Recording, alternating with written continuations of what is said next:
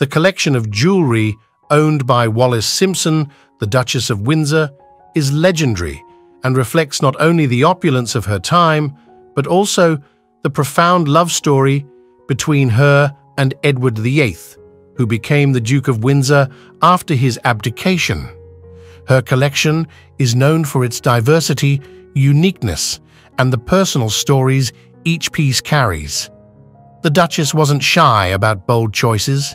She favored large, colorful gemstones and geometric designs.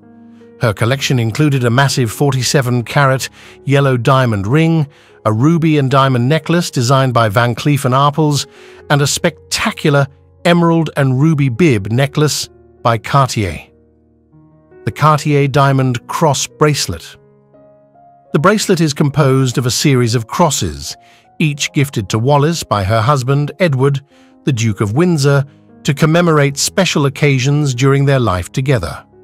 The crosses are made of gemset and diamond, and they hang from a platinum link chain. Each cross on the bracelet has its own story, with inscriptions on the back that mark specific events such as anniversaries and birthdays. Cartier crafted the crosses over several years, starting in 1933, and their variety in design reflects the Duchess's eclectic taste and the evolution of style over the period they were presented. The symbols on the bracelet are not just religious in nature, but represent pivotal moments in Wallis and Edward's life together. They were a deeply personal record of their shared experiences, their travels, and their mutual love and support. The elegance of the bracelet lies in its simplicity and in the sentimental value of each cross. It could be seen as an emblem of their controversial union, each cross a reminder of the sacrifices made and the obstacles overcome in the name of their relationship. Upon the Duchess's death, the cross bracelet was included in the famous Sotheby's auction in Geneva in April 1987. The jewels were bought by the anonymous bidder, fetching a record price of 31 minas, seven times the pre-sale estimate. The flamingo brooch stands out as one of the most iconic and artistic pieces of jewelry in the history of fashion and royal adornment. Crafted by Cartier in 1940, the flamingo brooch is a masterpiece of design and craftsmanship. It is set with a multitude of precious stones, primarily diamonds, rubies, sapphires, and emeralds, which together create a vibrant palette resembling the flamingo's distinctive pink hue and the tropical environment it inhabits. The body and long neck of the flamingo are elegantly fashioned from diamonds, while the bird's feathers are artfully depicted with calibre-cut rubies, sapphires, and emeralds. The leg of the flamingo is humorously and thoughtfully extended upward as if the bird is tucking it beneath its body. This brooch is indicative of the innovative and daring style of the time as the world was moving away from the more traditional jewelry designs of the previous decades. The piece also reflects the Duchess's love for statement pieces that were both playful and luxurious. The Van Cleef and Arpels Rubies. Commissioned in 1937, the year Duchess of Windsor married the Duke of Windsor, the collection symbolized their fiery love story and her entry into the highest echelons of European society. The suite consisted of a necklace, bracelet, and earrings, and was crafted with meticulous attention to detail that Van Cleef and Arpels is renowned for. Each piece showcased a striking combination of vibrant rubies and dazzling diamonds, set in a floral motif that was both feminine and bold. The necklace, often considered the centerpiece of the collection, was designed to be convertible and could be worn in multiple ways, including as a single or double strand or with the addition of a pendant. The rubies in the collection were of exceptional quality, with a deep red hue that glowed warmly against the skin. Their rich color contrasted beautifully with the brilliance of the diamonds making the pieces versatile enough to adorn a variety of Wallis's ensembles, from evening gowns to more casual attire. Emerald Engagement Ring The Emerald Engagement Ring of the Duchess of Windsor is a piece imbued with as much romance and controversy as the love story that it symbolizes. When Edward VIII decided to propose to Wallis Simpson, he did so with a ring that was as unique as their relationship. The ring, created by Cartier, featured a stunning 19.77 carat emerald. This choice of stone was unusual for an engagement ring, as diamonds were the more conventional choice, but it was befitting of Wallis Simpson's distinctive style and the non-traditional path their relationship was taking. The emerald was set in platinum and flanked by diamond side stones, but what made it even more personal was the engraving. Edward had the inscription, We are ours now, 27x36, engraved on the ring, which signified their initials, Wallis and Edward, and the date he proposed, October 27, 1936. The selection of an emerald could be seen as symbolically significant. Emeralds are often associated with hope, renewal, and love. The stone's vivid green hue also matched Wallis's striking eyes, a testament to Edward's attention to detail and personal touch.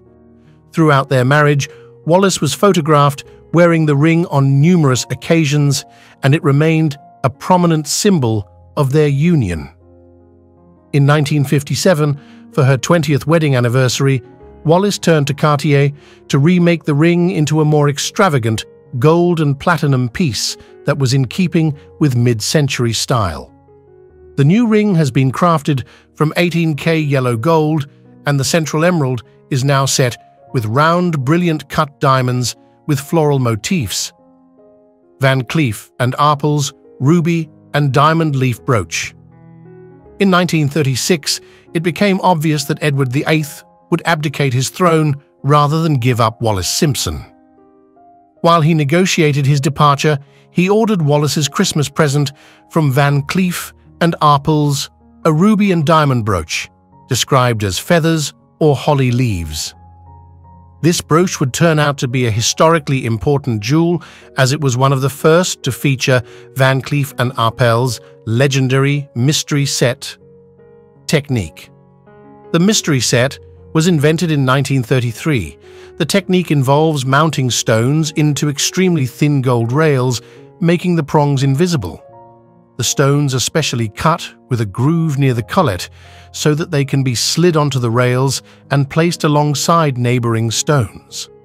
The jewel was preserved intact and was sold at auction in 1987 for a stunning price of $86,000, the emerald necklace.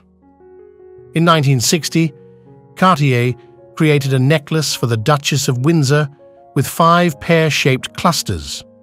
In the center of each cluster was an emerald, surrounded by a luxurious border of baguette and marquise diamonds. The sides and back feature semicircular links with round and square-cut diamonds.